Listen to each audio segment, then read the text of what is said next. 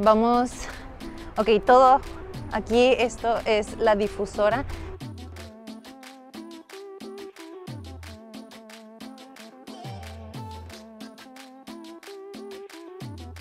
Puro mante, arriba el mante. Sí, está bien bonito el mante. Que visiten el mante, ¿verdad? Allá grábenlas también. Que visiten el mante, ¿no, verdad? Turi, turi, turisteando. A ver. Hola amigos, bienvenidos de vuelta a un nuevo video. Yo sé que ya me extrañaban, pero bueno. ¿No toman refresco? ¿No? Por si no me conoces, mi nombre es Esmeralda y el día de hoy nos encontramos en el bello Ciudad Mante. Mis primos me han hecho el amable gesto de sacarnos a pasear a mí y a mi mejor amiga por lugares amados por los tamaulipecos y sin duda son lugares que tienes que visitar. Para comenzar, nos adentramos en el balneario más popular en el sur de Tamaulipas, al cual puedes llegar en cualquier vehículo.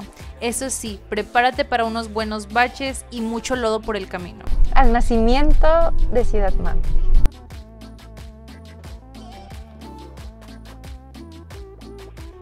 Aquí en el nacimiento solamente se cobran 10 pesos por persona a la entrada y 10 pesos por estacionamiento para motos y carros.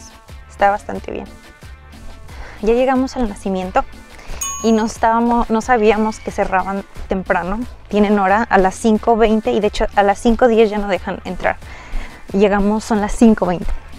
Eh, pero afortunadamente nos dejaron pasar solamente para grabarles un poquito de cómo se mira el nacimiento. No me voy a meter a nadar, obviamente, pero se los voy a mostrar. Que se ve muy bonito. Miren. Si tienen toboganes y todo. Miren qué bonito. Ay, está bien clarito. Pero la gente aquí no tiene que usar salvavidas, ¿verdad? Sí. Ah, yo veo al señor sin salvavidas allá.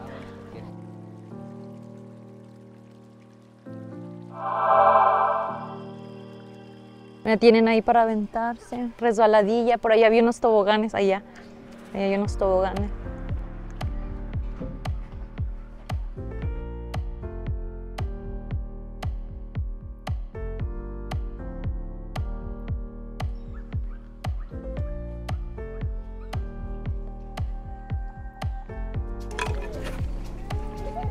Oh, no está fría. Mira, los peces vienen para acá.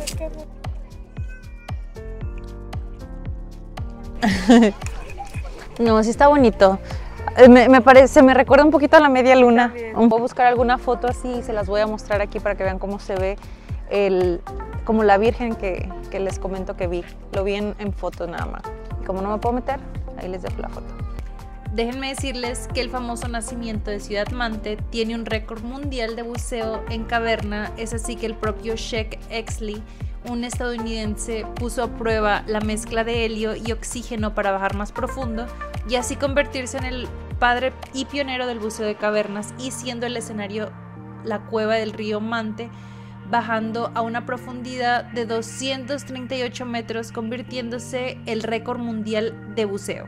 O sea, es famoso, el nacimiento es famoso. Sí, porque yo me tuve que agachar así mucho para tocar el agua, pero no, no está fría el agua. Por razón dijo la señora que estaba tibiecita. Sí, está tibiecita. Estaba más fría en, en las cascadas de Tamazop.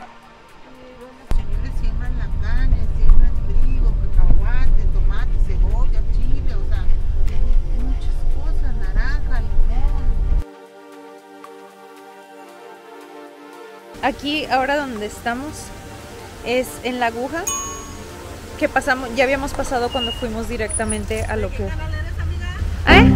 Estoy aquí en la aguja y me acabo de encontrar a unas muchachas que estaban en, en el nacimiento, ajá, y quieren salir aquí y mandar saludos en mi canal. De acá de Ciudad Mante, Tamaulipas. Eh, Puro mante, arriba el mante. sí, está bien bonito el mante. Que visiten el mante, ¿verdad? Allá grábenlas también.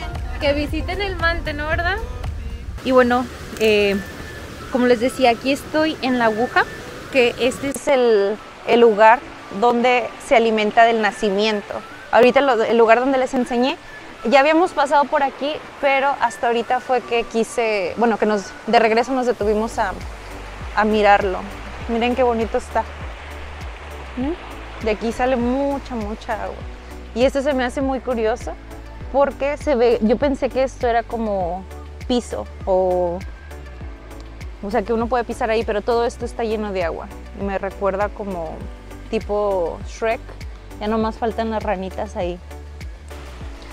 Aquí la gente del Mante pues les gusta mucho la parte del nacimiento y de, aquí. Hay más lugares que alimentan eh, el Mante y que no les falta el agua. O sea, está muy bonito, todos están muy agradecidos por este lugar.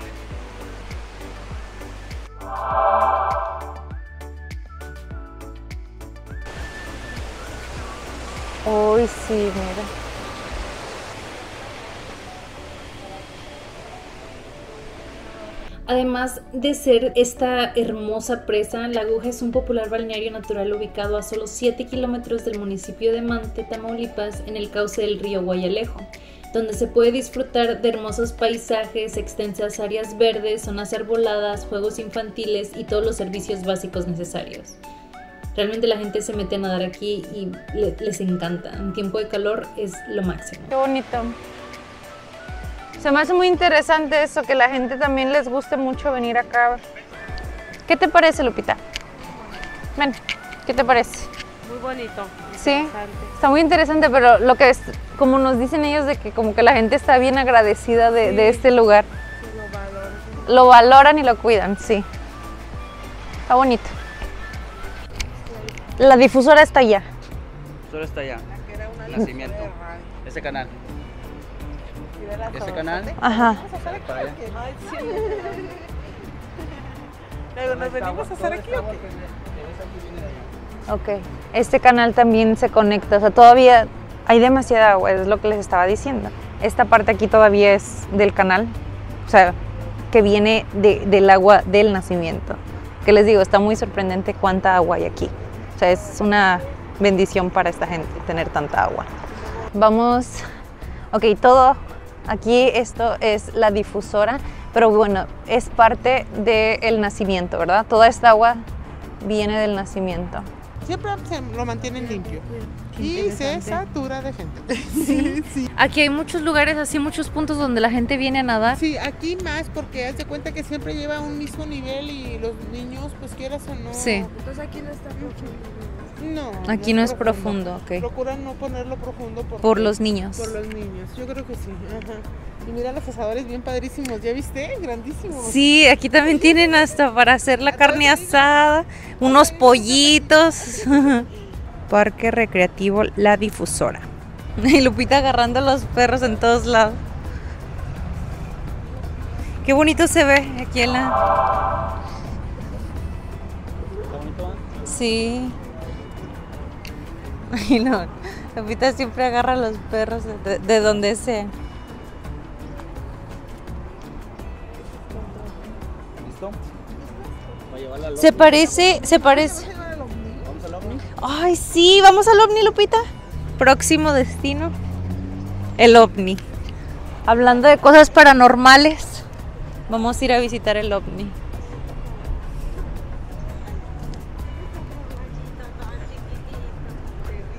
Ya, ese no lo agarres, Lupita, que no te vas a volver a lavar las manos.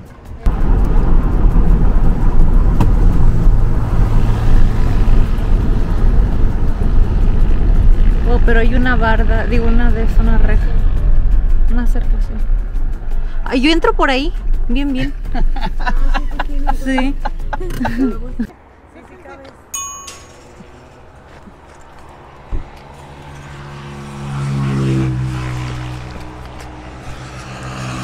Hemos llegado al OVNI aquí en Ciudad Mante.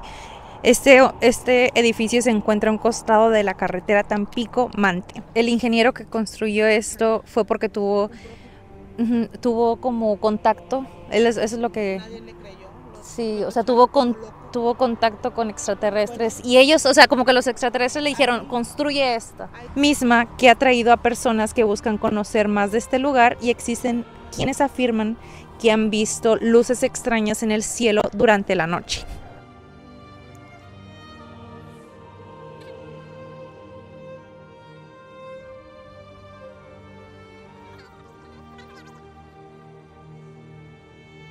Desde su edificación ha generado toda una serie de leyendas urbanas que tratan de explicar la presencia de este ovni abandonado aquí en Tamaulipas. O sea, se supone que ahí, o sea, no era como como para hacer cosas de extraterrestres, o sea, se suponía que ahí iban a curar gente, ¿no? Ese don se lo, se lo dieron a él, pero pues bueno, si, si hablas otro idioma, si, es, si haces otras cosas, curar gente o algo, Te tachan de te loco. tachan de loco, te ch- tachan de brujería. Bueno, eh, lo que me están contando aquí mis guías eh, es de que, eh, pues en unos años, me imagino, porque esto debe de llevar trabajo como repararlo, lo, lo tienen pensado hacerlo turístico para la gente. O sea, ya mucha gente viene a verlo, pero realmente quieren para que, para que puedas entrar y según me están diciendo también por dentro hay jeroglíficos, o sea, como en el piso, sí. Qué interesante, ay, qué padre. Se está cerrado. A ver, vamos. ay. Ah, sigue grabando, Lupita. A ver qué, si vemos aquí algo paranormal.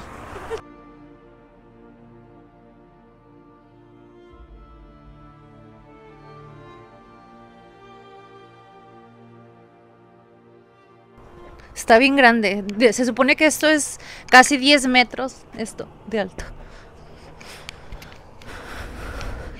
Y esto también, ¿esto para qué es? Está bien, o sea, está un poco peligroso. Está bien profundísimo. Sí, ya lo vi. ¿Y cómo se supone que se entraba aquí? ¿Hay alguna puerta? ¿Aquí la tienen? Mira para... Oh, my God. Mira. Uy, se ve de miedo, ¿no, verdad?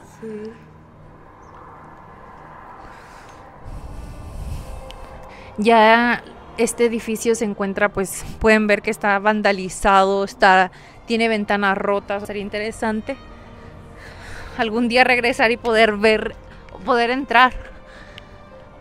La, es- la estructura.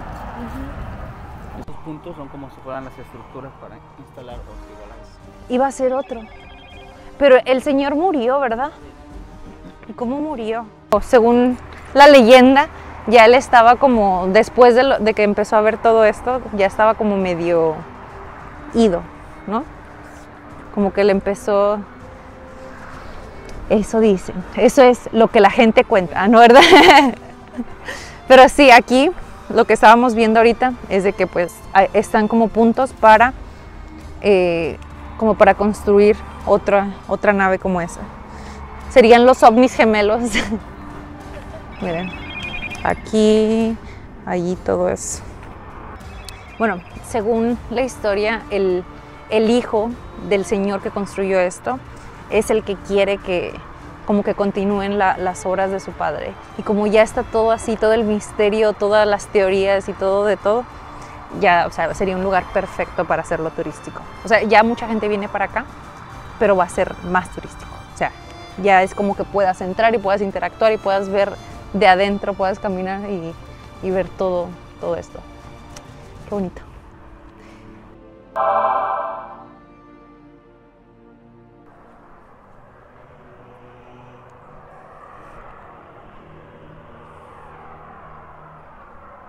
Ay, no. ¿Te imaginas que me caiga por aquí? Ya ahí sí empieza la película de terror. Ajá. Uy.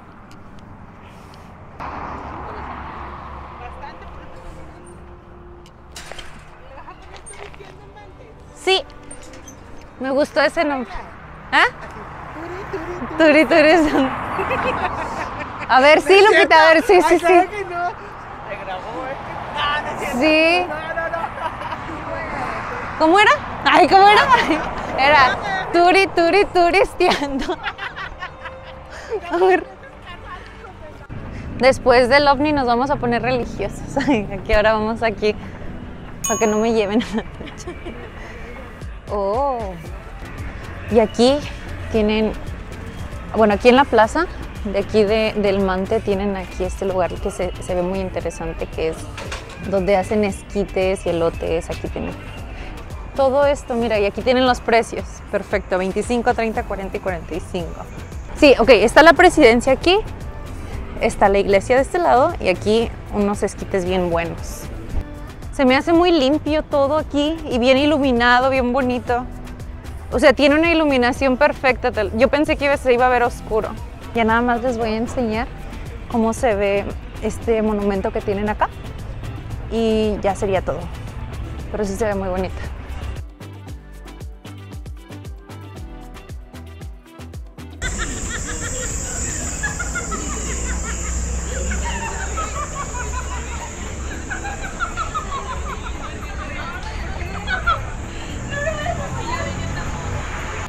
Está bien grande la plaza también.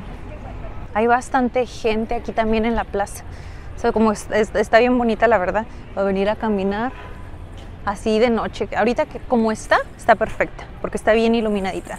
Ahorita vamos a ver cómo se ve lo que es la, la iglesia, porque también me, me están diciendo que se ve muy bonita. A ver, vamos a verla. De fuera, por fuera, se ve bien bonita, la verdad. Miren.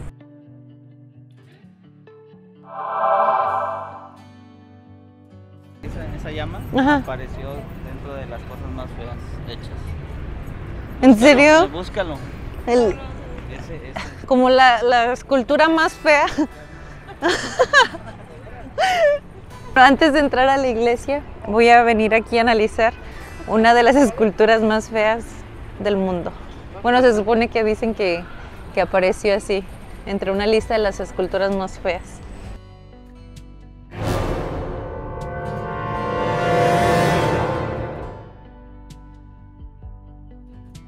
Se llama Llama a la Unidad de El Mante.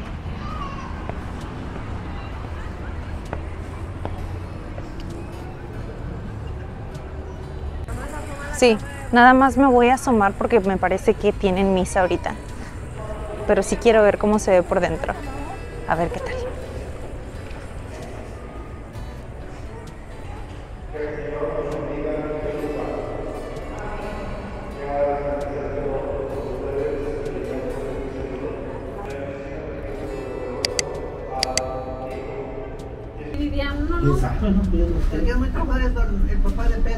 ¿Cuál tío?